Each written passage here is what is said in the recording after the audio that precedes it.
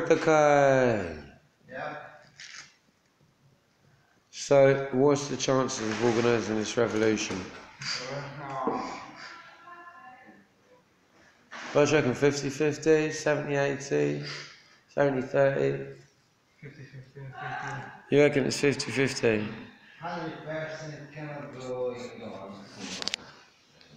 100% failure, revolution's dead cert. It's about the system. It's cannot go in God. So it means it's 50% we kill ourselves, 50% we uh, kind.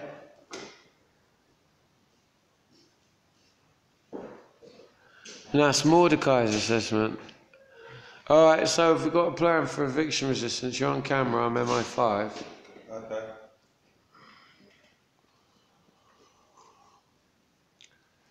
He's very good, he's not cracking under pressure, this one. Seems to be drinking baked beans. No, after that. Coffee from a baked bean tin, very stylish. So what do you think? It's about 50-50 between like Armageddon and a sort of Heaven and hell. utopian revolution. Heaven and hell, you're looking at it like that. That makes it quite serious, doesn't it? Well, Um, sort of, could be. Maybe not. Well, you really think there's a toss up between heaven and hell? It might go now. It's funny that I've had that thought before. I've been trying to avoid that thought. It's quite a revolutionary thought. It can be very motivating if you've got mm. an idea about how to make heaven. Do you want to be the cameraman? Yes.